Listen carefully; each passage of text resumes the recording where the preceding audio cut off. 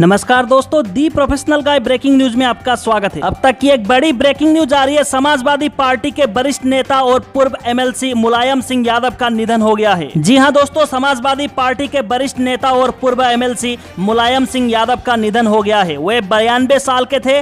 मुलायम सिंह यादव ने अपने आवास पर आखिरी सांस ली। मुलायम सिंह यादव समाजवादी पार्टी के वरिष्ठ नेता थे और यूपी के पूर्व मुख्यमंत्री मुलायम सिंह यादव के काफ़ी करीबी थे। वे साल उन्नीस में पहली बार सरपंच बने थे और जीवन भर सक्रिय राजनीति में रहे।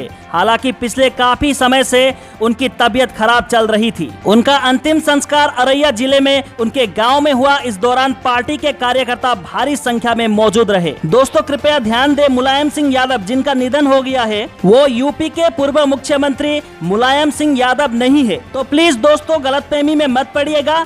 यूपी के पूर्व मुख्यमंत्री मुलायम सिंह यादव का निधन नहीं हुआ है, बल्कि समाजवादी पार्टी के वरिष्ठ नेता और पूर्व एमएलसी मुलायम सिंह यादव। दोस्तों, एमएलसी मुलायम सिंह यादव का निधन हुआ है। इस तरह के ताज़ा तरीन खबरें देखते रहने के लिए अभी सब्सक्राइब करें और देखते रहिए दी प्रोफेशनल गाय। धन्यवाद, जय हिंद।